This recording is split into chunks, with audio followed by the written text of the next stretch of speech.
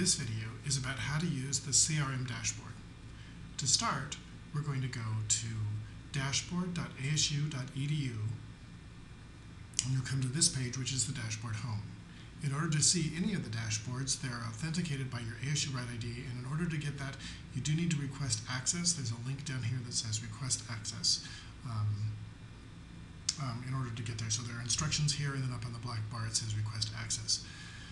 When you request access, you're going to have to ask for which dashboards that you need access to, and those are all listed over here.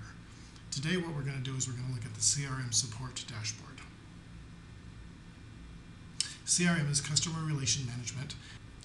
This dashboard shows you all of the CRM cases that have um, that we're tracking currently and their status you can go into any one of these different areas and drill down into the cases that apply to you. There's a couple of different underlying concepts that you need to know in order to understand the dashboard here. One of them is priority.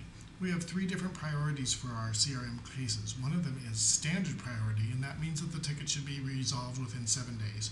Urgent means that it'll be resolved within two business days, and critical means that it'll be resolved within one business day or as soon as possible. So you can go and drill down into the CRM cases by just clicking on this. And we'll go in and we'll be able to see the cases and their ages. At this point, you can go in and you can take a look at any one of these and see what the case is about by clicking on the number. And then if you have CRM access, you can actually go into the case and see what it is. Go back to the summary page. Another concept that you need to know about is provider groups. In UTO and in many, many different business groups, we have groups of people who provide service, and they're called provider groups. And so you can go into um, this section and drill down in and see the different provider groups and what tickets are open to them. The nice thing about this page is that you can see the provider groups with the most cases, the closed cases, most assigned cases. If you click on the provider group description, you'll see a list of the names of the people in the provider group. Pull that down into the recording here. So you can see who's actually in the provider group. That's very good.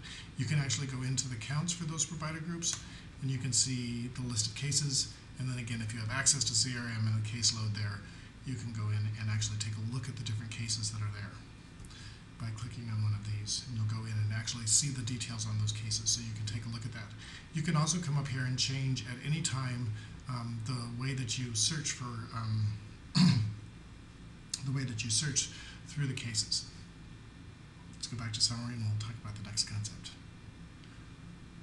You can see the open cases by business unit. Notice here that you see um, several different business units. Here you see UTO, here's HR, here's WP Carey, and then this is the second UTO um, business group. Uh, provider groups are, are grouped within business units, and the provider groups within a business unit can easily share cases back and forth and transfer cases back and forth. Um, and so each business unit is the next level up in the hierarchy of how CRM cases are um, organized. So you can click on that just like you can on any other piece of it and go in and you can see which cases are assigned to which business unit, standard, critical, total, et cetera, et cetera, et cetera. And then you can go through and see, see where they are and drill down in, just like you did before. You can also see the cases by source and drill down in that way. You can see CRM case activity as well. And all of those links are also available over here.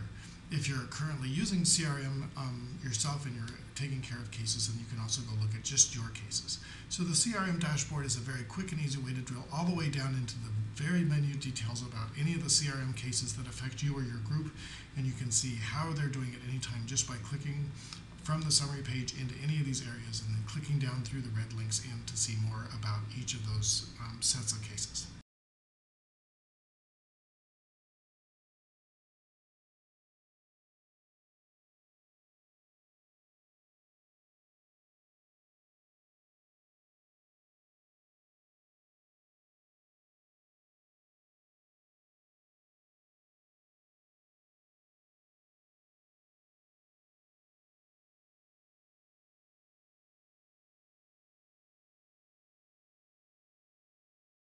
And that's all there is to using the CRM support dashboard.